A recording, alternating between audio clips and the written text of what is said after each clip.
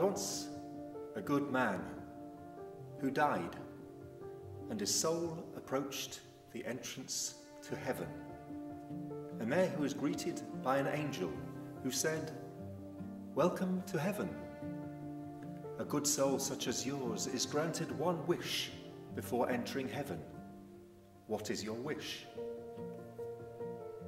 Good soul, he said, before entering heaven, I should like first to see hell.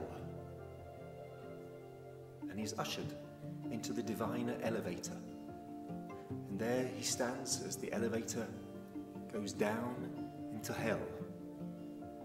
And there in hell, you can see a huge table piled high with the most sumptuous of foods rare fruits, exotic wines, meats and sweetmeats with odours to the heavens. But in front of the table is a huge abyss, a huge bottomless pit, so wide that the food cannot be reached. And the people in hell, hollowed eyes, sunken bellies, and they howl as both their hands are each attached to a long pole. The pole is long enough to reach across the pit and trap the food.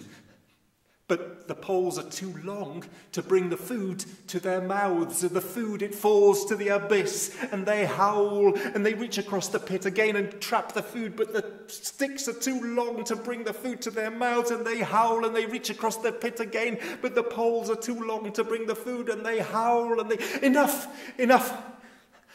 I've seen enough. Take me back to heaven. He quickly steps into the elevator and returns to heaven. And there in heaven,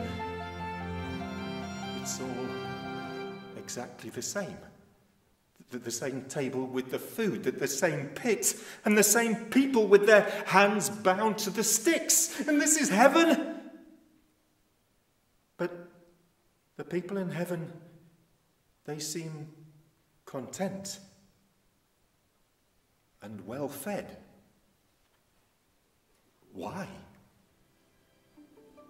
And one of the angels, he says, because here in heaven we have learnt to feed each other.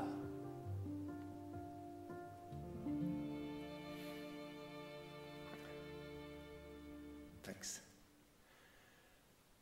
It's one of those stories.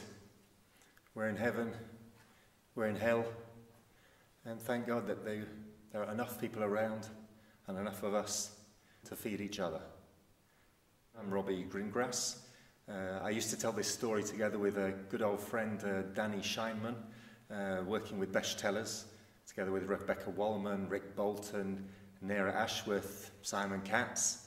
Um, but now obviously doing it solo, together with the help of videographer, photographer, and brilliant artist Neil Mercer. Once again to say, any story, particular story that you'd like me to tell, stick it in the comments, and likewise if there's somebody you'd like the story to be dedicated to, in the comments. Keep it together.